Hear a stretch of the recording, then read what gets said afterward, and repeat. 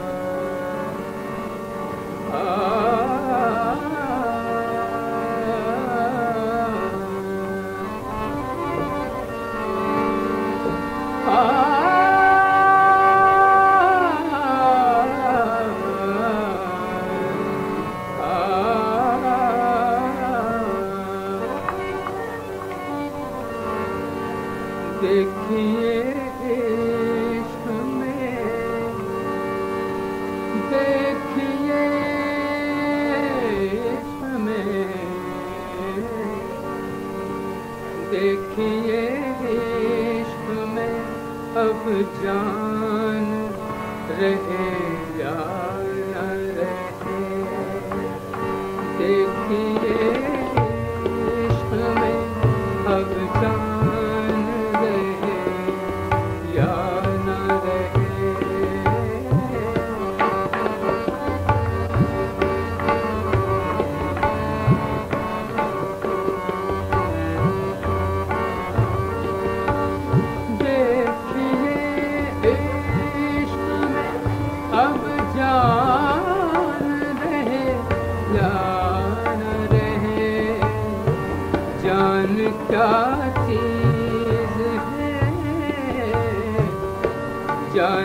ah.